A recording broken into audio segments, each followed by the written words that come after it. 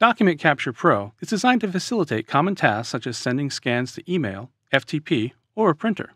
With a scanned document in the workspace, any of these destinations require just a few actions. If you already have a mail client configured, email is easy. Start by clicking the email icon in the destination menu. Adjust settings as needed in the Save As pop up window and click OK. Enter the recipient's email address, a subject line, and any message text, and then click Send. For FTP, click the FTP icon in the destination menu. The Transfer Settings pop up window looks a lot like the Save As window. Type a name for your FTP, the FTP site address, username, and password.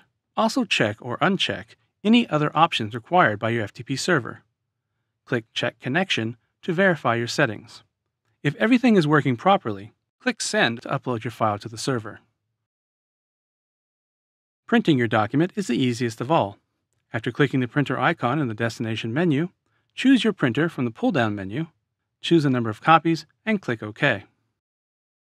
Additional output options, including cloud destinations, are covered in our other videos.